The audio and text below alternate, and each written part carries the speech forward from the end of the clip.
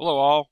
Uh, this is going to be about uh, recording uh, OpenGL games. Uh, that, in other words, non-DirectX games, um, such as Quake 3 and uh, pretty much the entire id Software catalog up until uh, their last release of Rage. I don't think that supports Linux.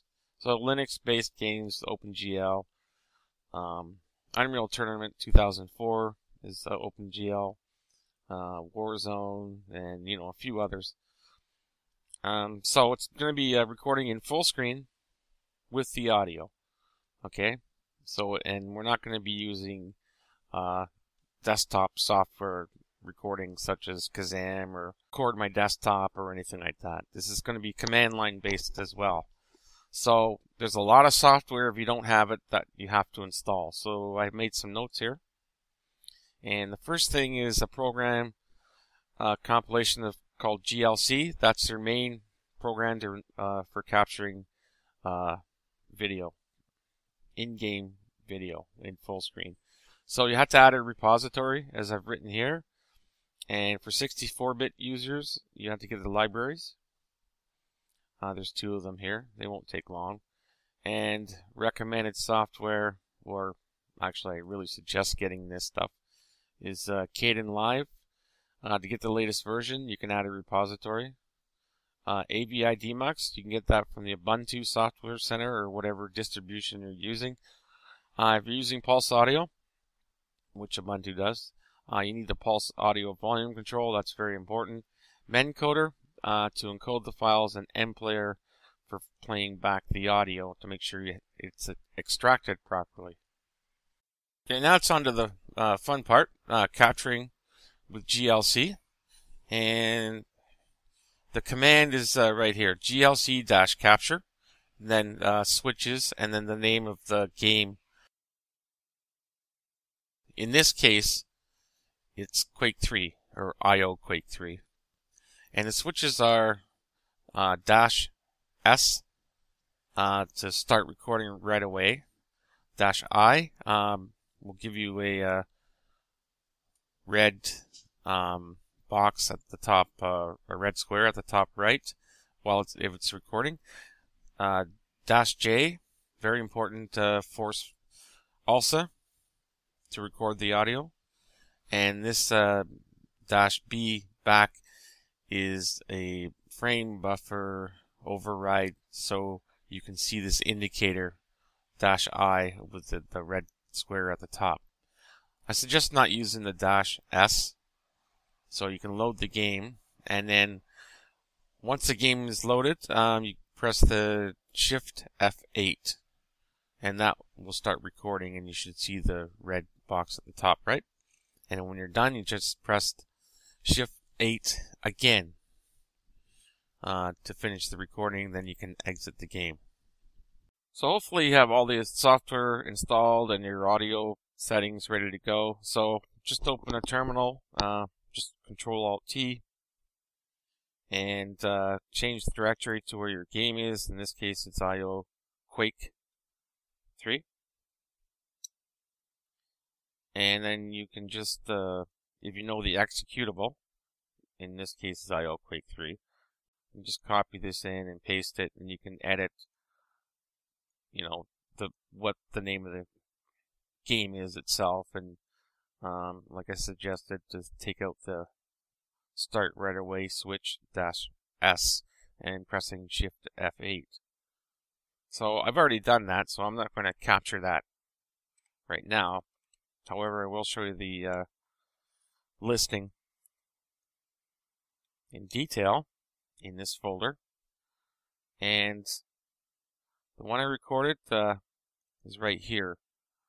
ioquake3, and it's got a bunch of 64-bit and a stamp on it, and it's .glc. And right here, that's the size. That's about 6.3 gigabytes. So similar to Fraps, we used Fraps in Windows and recorded like a three or four minute video, it, you know, they get up there in size. And so, to downsize this, uh, we're going to have to encode it. Now, one thing I forgot to mention, um, before we move on is uh, when you put that command in to record, wherever it went, uh, it should automatically open the game for you and start. So that's why I suggest uh, to use the key combination instead of just telling it to start recording right away so you can have control over when you want it to start and stop playing.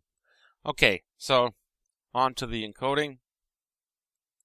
And it's the, uh, you can use GLC play actually if you just use this first part, GLC play and the name of that file, it will play back.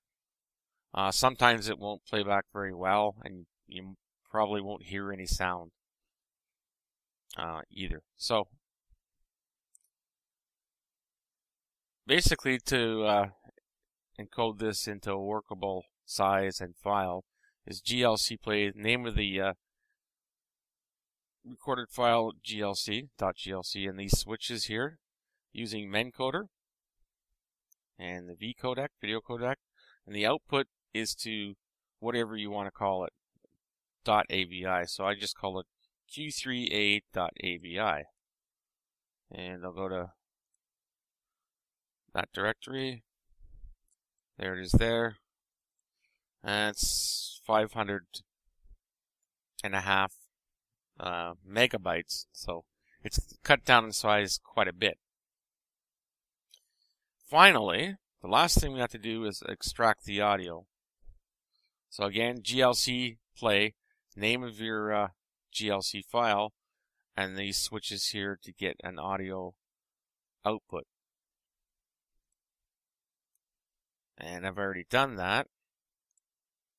That should be, I think I did anyway. There it is.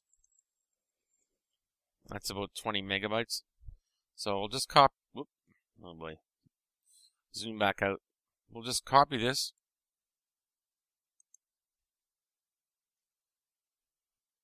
And clear the screen. And paste that in. And we'll type, uh, this is for MPlayer, it's for. It only takes a second, by the way, to do that uh, output audio. It's just really quick. So MPlayer, just to make sure the audio does work, so you press enter. And you see here, that is playing back.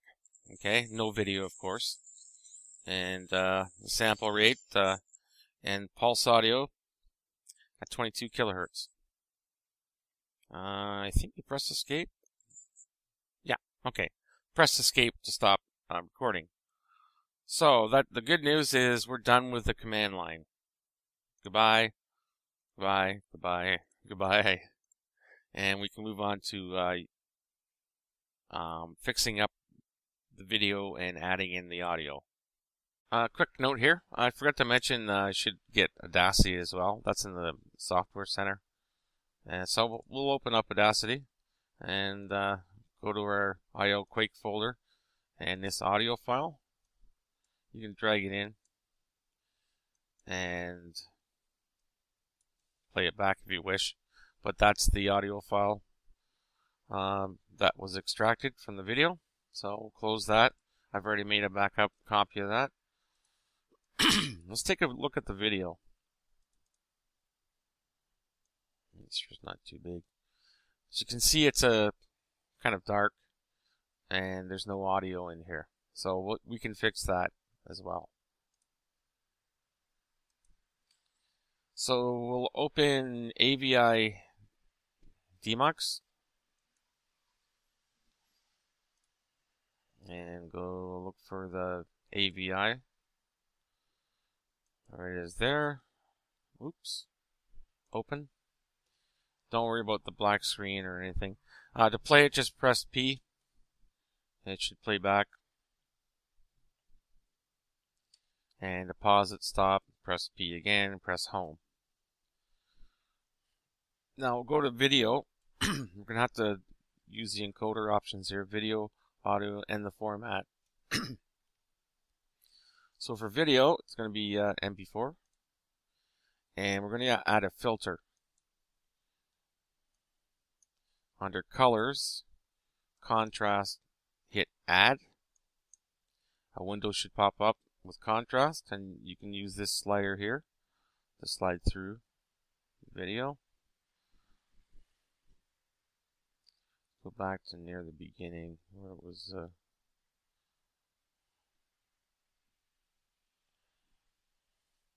Okay. Just bump up the contrast a bit, brightness a bit.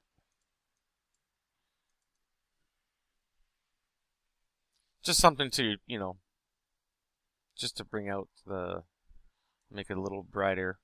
When you're done, um, obviously you can't see the controls at the bottom, but they're, the two buttons are canceling and okay. So you hit, you hit the tab key twice and then press enter. That should be for OK. Whoops, I'm sorry. Highlight the video, tab, tab. There we go. And active filters contrast. So good. Close that. Now we have to uh, grab the audio. Main track. And the audio source is not in the video, so we have to choose from the drop down external AC3, MP3, or WAV. I chose WAV. Click Browse. Uh, I saved it in the videos folder. And it's this one, audio. Open. Hit OK. Now press P to play it, and you should see the video play back with the audio.